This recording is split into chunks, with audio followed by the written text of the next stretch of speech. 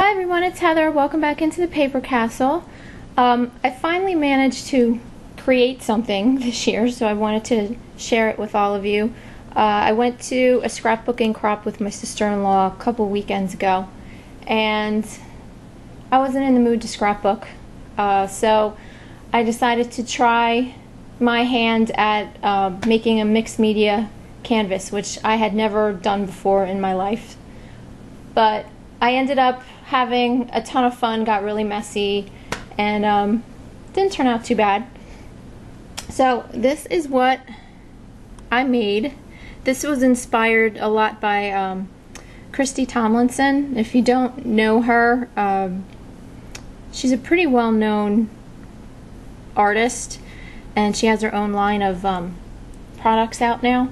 But I'm going to put the link to some of her videos down below so you can check her out. But it's really fun to watch her create these from start to finish.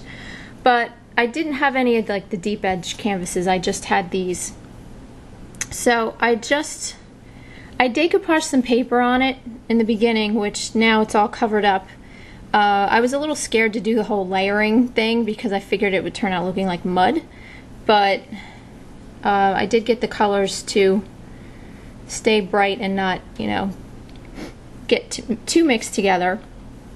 But I just put a whole bunch of different colors of acrylic paint down at the bottom and, you know, smeared it around with my finger or credit card or whatever I could find.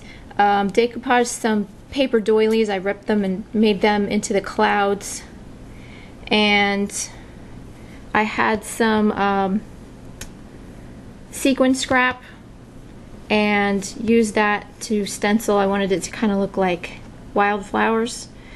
Stenciled those in with some acrylic paint. Um, did some, I think these are, I can't remember if these are rub-ons or these are stamps.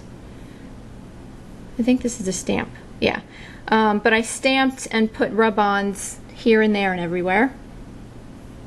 Then I just ripped some paper, uh, dictionary paper and some other pattern papers I had and then I had a couple of packs of die cuts.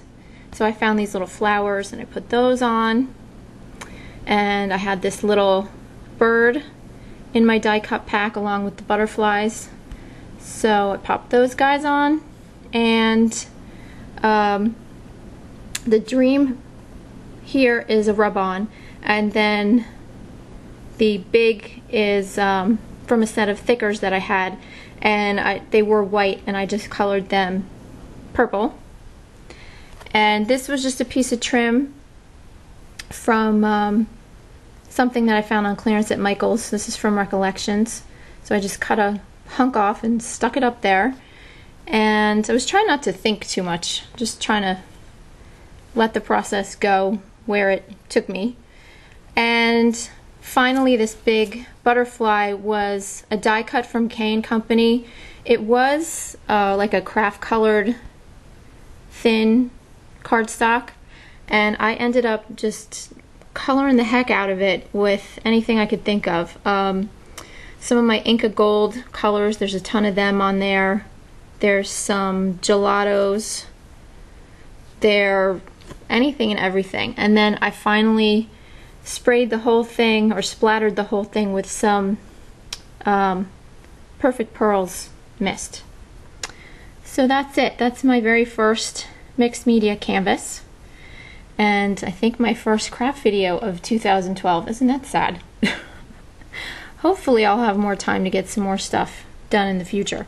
But thanks for watching everyone and I hope you all have a great holiday this weekend and I'll talk to you soon.